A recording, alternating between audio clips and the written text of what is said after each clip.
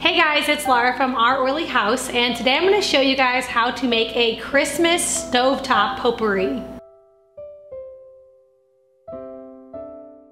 There's always that person on your list that you're just not sure what to buy for. And before I started DIYing so many things around my house, I always just kind of stuck with the candle and sock gift, you know, that when you just run to Walmart quick and you buy something just simple for someone that you're not really sure what to buy for, you just buy a candle. But now that I am making my own homemade stuff, I have been getting really into making homemade Christmas gifts because they are very practical. I love that I can make them natural and beautiful and customize them. And they're just a lot more thoughtful. So Today I'm gonna be sharing a stovetop potpourri that you can put in a mason jar to make a really pretty Christmas gift for anyone on your list. This also makes a really good hostess gift. I have shared a lot of different Christmas gift ideas here on the YouTube channel and today I want to invite you to go check out my friend Julie Blanner. She also has some really cute Christmas gift ideas and today she is sharing bath salt ornaments and they would make the perfect perfect gift for again, anybody on your list. So after you guys are done watching this one, be sure to head over to Julie's channel. She has a lot of different recipes and she shares a lot of tips on entertaining. And then you can also see her bath salt ornaments for some more inspiration on homemade DIY Christmas gift giving. Okay, so we're gonna jump into this. It's really, really simple to make and it's kind of like I'm gonna give you guys a recipe, but you guys can really make this any way that you want. If you guys have never made a stove top potpourri, basically you simmer water and different herbs and fruits and like cinnamon sticks and some essential oils, things like that on a big pot in your kitchen and you just simmer it all day long and then your whole house is going to get the aroma of all the different things that you put in there. So what I'm gonna do today is I'm gonna actually make it inside of a mason jar top it off with water, put a lid on it, and then this is something that you can give for Christmas. Then all they have to do is open it up, and pour it in their pot and then they are ready to enjoy some stovetop potpourri. Now, the only thing about this is it doesn't last very long. So you're gonna wanna make these just the night before you give them, but they're very simple to whip up and then they can use them on the day of Christmas. So I am sticking to all the Christmas scents. I have cranberries here, I have cinnamon sticks, I have an orange,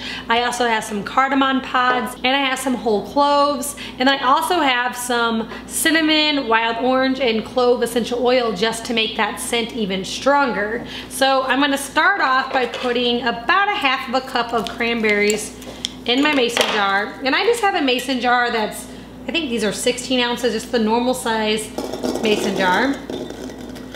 And then I'm going to add in a few slices of orange and I'm going to leave the peel on there because the peel actually has a lot of flavor or a lot of scent really to it. The peel is where the essential oil comes from. It has a very strong aroma, so we definitely want to leave that peel on. So I'm going to put a few orange slices in there.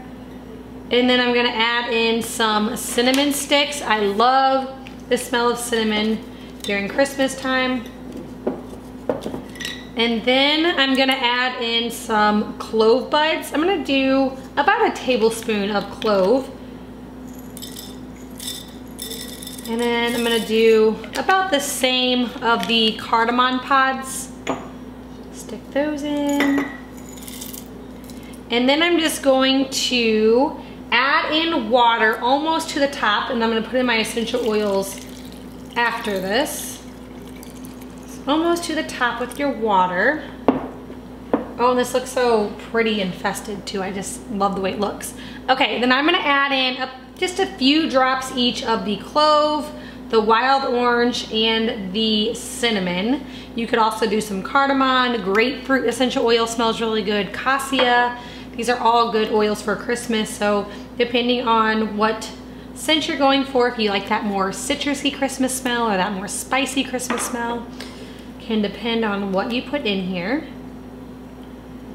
Okay, then we're just going to put the lid on and then this is the fun part if you are creative and like to decorate that is because I'm actually not super creative, so this is not the fun part for me, but for most people, this is the fun part. You can get creative and you can decorate this any way you want. I did make some really cute printable labels that you can put on here that have the directions on here that you can put on there with also a little gift tag that you can tie around here.